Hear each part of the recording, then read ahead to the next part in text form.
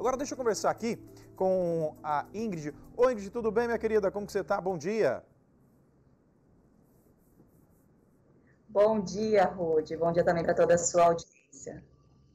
Obrigado, viu, por mais uma vez estar com a gente aqui no TVC agora. Oi, Ingrid, é o seguinte. A minha querida Ingrid, gente, eu venho aqui ao vivo lá da Rádio CBM de Campo Grande, direto da nossa redação lá, para falar do passaporte da vacina, enfim.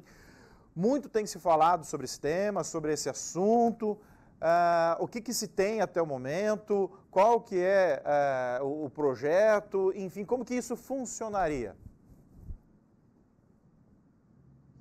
Bom, Rude, aqui em Campo Grande temos aí na Câmara a bancada do PT já discutindo essa possibilidade do passaporte da vacina aqui em Campo Grande, então só pessoas que tomaram aí as duas doses da vacina poderiam estar em ambientes fechados, que a gente considera em ambientes fechados com uma grande quantidade de pessoas, com aglomerações. Então, só nesse caso de pessoas totalmente vacinadas poderiam estar nesses ambientes. Alguns estados brasileiros, como São Paulo e Rio de Janeiro, já estão adotando essa medida. Mas aqui em Campo Grande, aqui em Mato Grosso do Sul, isso ainda está sendo discutido. Então, aqui na capital, temos na Câmara dos Vereadores uma discussão levantada pela bancada do PT e na esfera estadual ainda está sendo analisado. Ontem teve uma coletiva de imprensa aqui para falar sobre o turismo. A gente também aproveitou para perguntar sobre esse passaporte da vacina. E o governo do estado diz que no momento ainda está analisando essa possibilidade, eles ainda não sabem se realmente vão liberar a entrada de pessoas, é, aglomerações né, de pessoas que já foram vacinadas, isso ainda está sendo analisado. Lembrando que alguns países da, da Europa, por exemplo, já adotam esta medida, mas por enquanto isso ainda está sendo analisado, eles ainda estão vendo se realmente vão fazer isso ou não, mas só reforçando aqui na capital, isso já está movimentando a Câmara dos Vereadores, Rudy.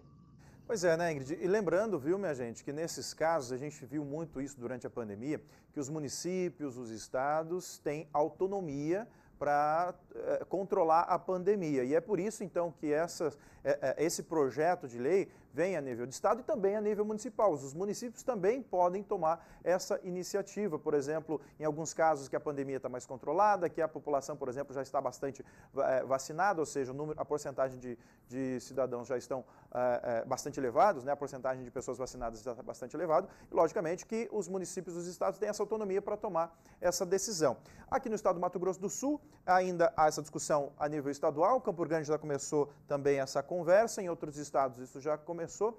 Mas assim, isso me preocupa um pouco, sabe, Ingrid? Porque além de se ter, logicamente, esse controle, tendo esse passaporte da vacina, ou seja, também teria que ter a fiscalização, né? Porque não adianta só você autorizar a pessoa ter aquela, aquele passaporte da vacina, enfim, mas não, não ter uma vacinação, aliás, não ter uma fiscalização.